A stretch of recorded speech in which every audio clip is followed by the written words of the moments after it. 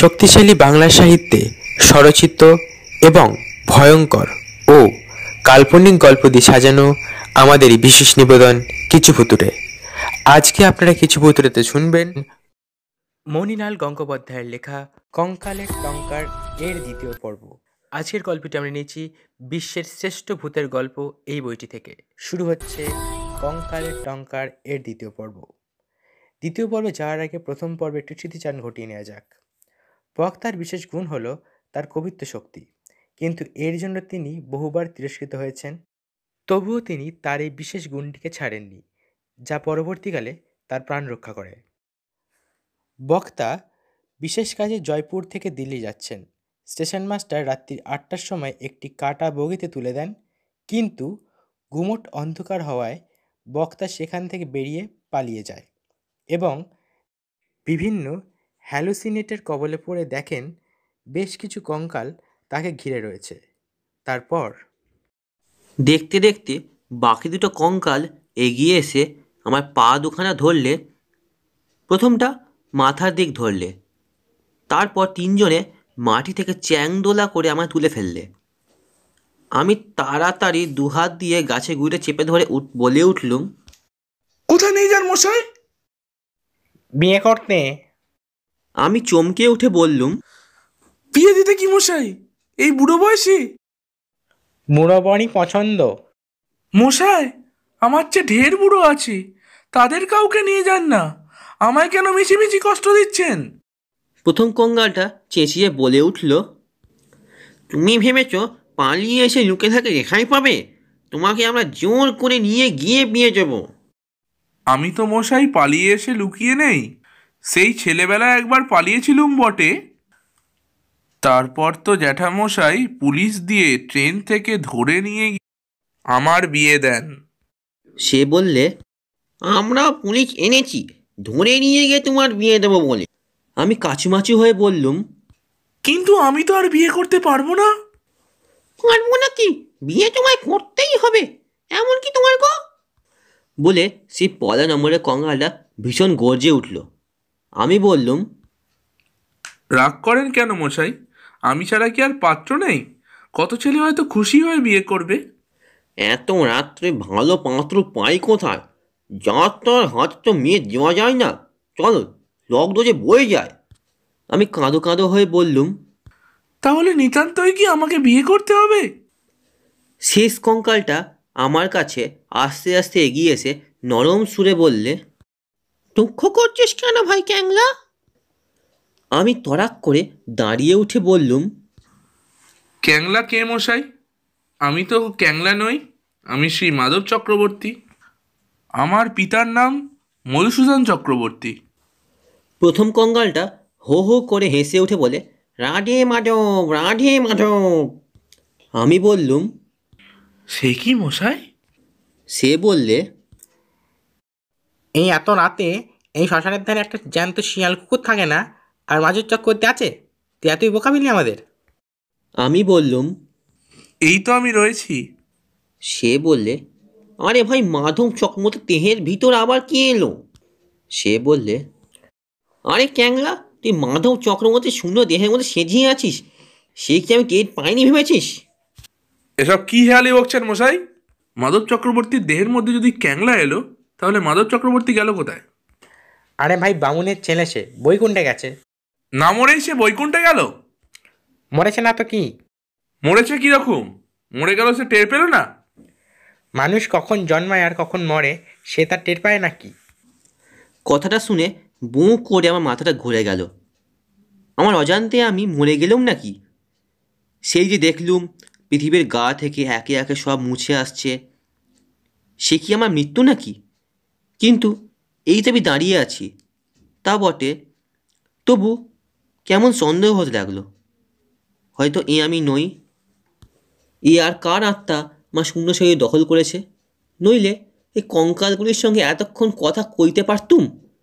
জ্যান্ত মানুষ কি তা কখনো পারে? কিন্তু মরে গেলুম কেমন করে? আমার তো রোগ হয়নি। হয়তো ওই বাঁধের ওপর থেকে গড়িয়ে পড়ার সময় পাথরে মাথা লেগে আমার মৃত্যু হয়েছে। আমি টের পাইনি। ভাবতে ভাবতে আমার মাথা গুলিয়ে যেতে লাগল। কেমন মনে হতে লাগল? না, আমি মাধব চক্রবর্তী নই। ওরা ঠিকই বলছে। কাঙালিচরণের আত্মা আমার শূন্য দেহের মধ্যে আসন পেতে বসেছে। তাই তো আমার দেহের ভ্রম হচ্ছে। মাধব চক্রবর্তী জেল বুঝি এখনও চলছে। কিন্তু কাঙালিচরণ লোকটা কে? আমি যদি কাঙালিচরণ হব, তবে আমি আমাকে চিনতে পারছি না কেন? এরা তো আমায় চিনতে পেরেছে। প্রথম কঙ্কালটা বলে উঠল কি হে ক্যাংলা কি ভাবছ? বিয়ে করার মতস্থির হলো? আচ্ছা মশাই আমি কি সত্যি ক্যাঙালি চরণ? সে খানিক আমার মুখের দিকে অবাক হয়ে চেয়ে বললে সে কি রে ক্যাংলা? তুই নিজেকে চিনতে পারছিস না? আমি বললুম না। সর্বনাশ হয়েছে। তুই আমাদেরও চিনতে পারছিস না? একটুও না। তোর মনে পড়ছে না? আজ এই অমাবস্যার দিনে ঘুটঘুটে লগ্নে তোর বিয়ে। বাঘেশ্বরীর সাথে। কই? আমার তো কোনো বিয়ের কথা হয়নি। সে কি রে? তোর গায়ে গোবর পর্যন্ত হয়ে গেছে তোর মনে পড়ছে না? গায়ে গোবর কাকে বলে? তুই অবাক করলি তোর কিছু মনে পড়ছে না? গায়ে গোবরের দিন ভোর রাত্রে তালপুকুরে তুই মাছ মারতে যাচ্ছিলিস তত্ত্ব পাড়াবার জন্যে। তাল গাছের মাথায় পা ঝুলিয়ে বাগেশ্বরী বরপণের করি পাচ্ছিল। তুই বাগেশ্বরীকে দেখতে পাসনি? সেও তখন দেখতে পাইনি। তারপর তুই যেমন ঠিক তাল গাছের তলাটিতে এসেছিস, অমনি বাগেশ্বরী পা দুটা দুলতে দুলতে তোর কপাল ঠক করে লেগে গেল। বাঘে শুধু লজ্জায় সাত জীব কেটে মাথায় ঘোমটাটা টেনে দৌড়। আর তুই বাড়িতে কাঁদতে কাঁদতে ছুটে এসে বলি ও মা, আমি ওই মেয়েকে বিয়ে করব না। তোর মা যখন জিজ্ঞেস করল, তখন তুই বললি, ওর পা আমার কপালে ঠেকেছে। এই না আমি ওকে বিয়ে করব না। তখন তোর মা বলল তাতে কি হয়েছে? তখন তুই বললি হয়েছে আবার মাথা আর মুন্ডু বলে কপাল চাপাতে চাপাতে সেই যে গেলি আর তোর পাত্তা নেই। এসব কি তো একেবারেই মনে পড়ছে না? আমি বললুম মনে হচ্ছে এরম একটা গল্প কোথাও শুনেছিলুম। তারপর কি হলো? সর্বনাশ করলি। তারপরেও তোর মনে পড়ছে না? তারপর তো গুরু ঠাকুর এলেন এসে বিধান দিলেন যে বাঘেশ্বরীর পা তোর মাথায় একবার ঠেকেছে। তুই সাত একে সাতশো বার তোর পা দিয়ে তার মাথা থেতলে দে তাহলে সব দোষ খণ্ডে যাবে। তুই বলি ওরে বাপরে বাঘেশ্বরীর মাথায় লাথি মারা সে আমি পারব না বলে তুই ছুট দিলি। আমি বললুম তারপর? তারপর আজ বৃহস্পতিকে খুঁজে না পেয়ে খুঁজতে খুঁজতে এই শ্মশানঘাট এসে দেখি তুই এই মাধব চক্রবর্তীর মরাটাকে দানা পাইয়ে বসে আছিস। হ্যাঁ রে এই মাধব চক্রবর্তীকে যারা পোড়াতে এসেছিল তারা গেল কোথায়? তোকে দেখে ভয় পালিয়েছে বুঝি? মাধব চক্রবর্তীকে আবার পোড়াতে আসবে কারা? আমি তো তোমার কথা কিছুই বুঝতে পারছি না। তোর কিছুই মনে পড়ছে না? তুই সত্যি বলছিস না মস্করা করছিস? তোমার দিব্যি আমি সত্যি বলছি। তবে সর্বনাশ হয়েছে। তোকে মানুষে পেয়েছে। মানুষে পেয়েছে? কি গো? জানিস না বুঝি আমরা যেমন মানুষের ঘাড়ে চাপি মানুষও তেমনি আমাদের কারও কারও ঘাড়ে চাপে। তুই যখন মানব চক্রবর্তীর দেহে সেধিয়েছিলি তখন বোধহয় তার একটুখানি প্রাণ ছিল সেইটে তোকে পেয়ে বসেছে। তাতে কি হয়? মানুষ যেমন তখন নিজেকে চিনতে পারে না আপনার লোককে চিনতে পারে না আবল টাবল বকে কটমট করে চোখ ঘোরাতে থাকে আমাদেরও ঠিক তেমনি হয়। তাই তো তুই অমন করছিস। নিজেকে চিনতে পারছিস না আমাদেরও চিনতে পারছিস না। ওগো তবে আমার কি হবে? যেমন বিয়ে করবে না পালিয়ে এসছিস তেমনি ঠিক জব্দ। ওগো আমি বাগেশ্বরীকে বিয়ে করব আমায় রক্ষা করো। তবে বেরিয়ে আয় ওখান থেকে। বেরোবো কি করে গো? পথ হারিয়ে ফেলেছিস বুঝি? মুশকিল করলি দেখছি। এক কাজ কর মাধব চক্রবর্তী কোঁচার খুঁটটা ওই গাছের ডালে বেঁধে গলায় একটা ফাঁস দিয়ে তুই ঝুলে পড়। তাহলে শুরুত করে তুই বেরিয়ে আসতে পারবি। আমি ভয় শিউরে উঠে বললুম না গো না সে আমি পারব না। গলায় ফাঁসি দিতে আমি পারব না। যেমন এই কথা বলা সে প্রথম কঙ্কালটা তার সে কালো গর্তের মতো চোখ দুটোকে বন বন করে ঘুরিয়ে বললে কি? তুই ফাঁসি যেতে পারবি না? আমি হলাম গলায় দৌড়ে।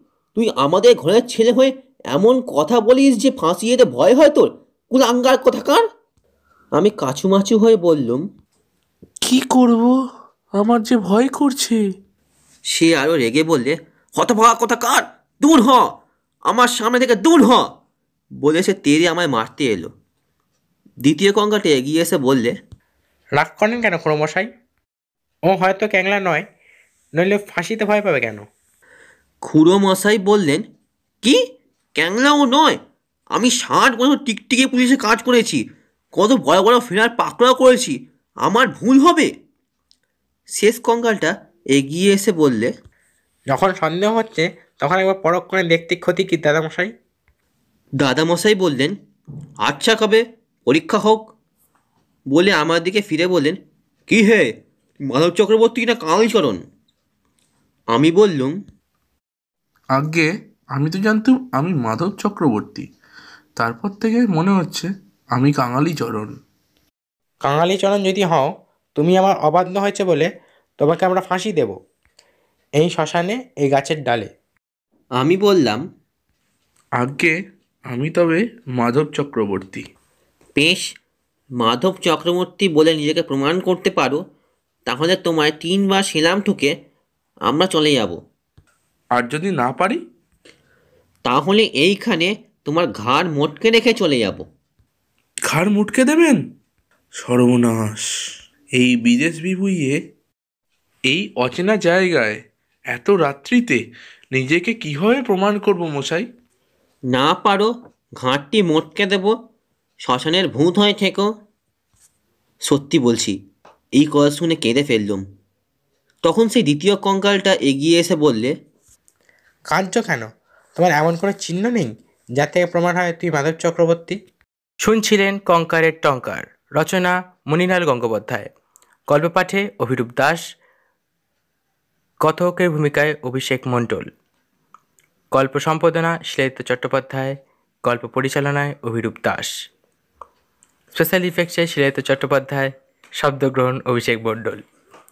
আগামী সপ্তাহে আমরা আবার হাজির হব এরকম একটি স্বরচিত ভয়ঙ্কর ও কাল্পনিক গল্প নিয়ে।